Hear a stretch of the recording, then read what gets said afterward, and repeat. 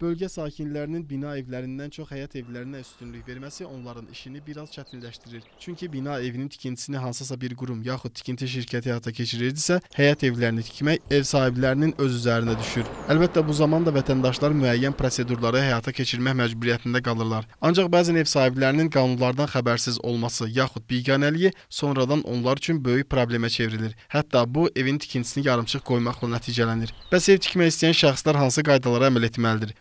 Fərdi yaşayış evinin e, tikintisi üçün vətəndaş müraciət edir lisenziyası olan layihəçi təşkilata. Həmin layihəçi təşkilat ona layihəni hazırlayır və bu zaman vətəndaş e, torpağa dair sənədlərlə və e, layihə həmin layihəni iki nüsxədən layihə ilə icra hakimiyyətinə müraciət edir. Dövlət rüsumuna gəldikdə layihənin təsdiqi üçün 60 manat, təkrar təsdiqi üçün isə 30 manat pul ödənilməlidir. Ancaq elə hallar da olur ki, vətəndaş bütün bu prosedurları yerinə yetirdiyi müddətdə ona aid torpaq sahəsində tikinti işi aparır. Bu zaman isə bəzi vətəndaşlar elə zənn edir ki, tikinti şirkəti tərəfindən təsdiqlənən layihəni müvafiq icra orqanının memarlıq şöbəsi də təsdiqləyəcək. Ancaq bu hər zaman belə olmur.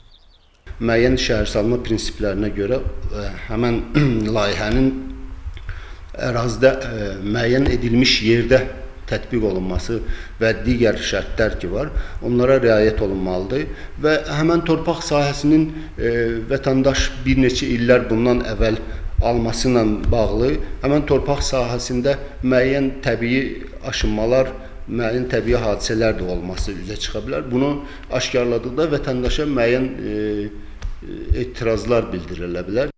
Ona görə də bütün çətinliklərinə baxmayaraq qayda və qanunlara riayət etməklə ev tikmək daha məqsədə uyğundur. Çünki aidiyyatı qurumlar xəbər tutunca tikilən evin ömrü də elə həmin vaxta qədərdir. Bundan sonra isə çəkilən zəhmət də, xərclənən pul da puç olub gedir. Bunun üçün də ömür boyu rahat yaşamaq naminə xırda çətinliklərə sinə gərməyə dəyər.